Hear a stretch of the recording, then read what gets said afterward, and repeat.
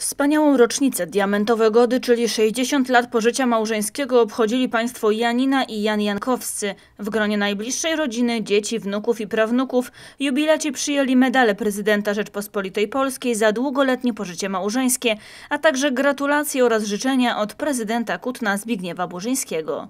Minęło 60 lat od chwili, kiedy połączyli Państwo swój los i już przez ponad pół wieku idziecie razem przez życie jako małżonkowie.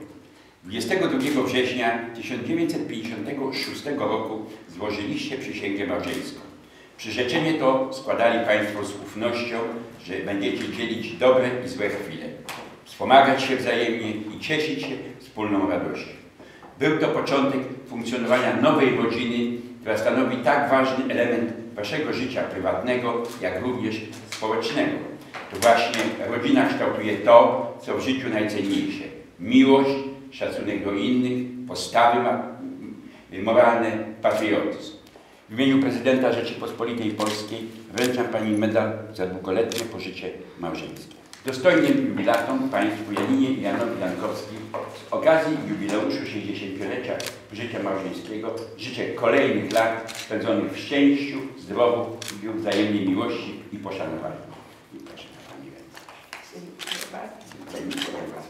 Sto lat, sto lat, niech żyją, żyją nam.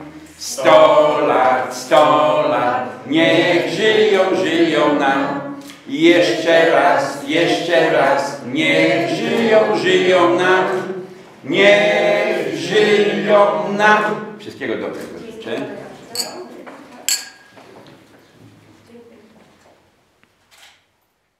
Jaka jest recepta na takie długoletnie pożycie małżeńskie? A Jaka recepta?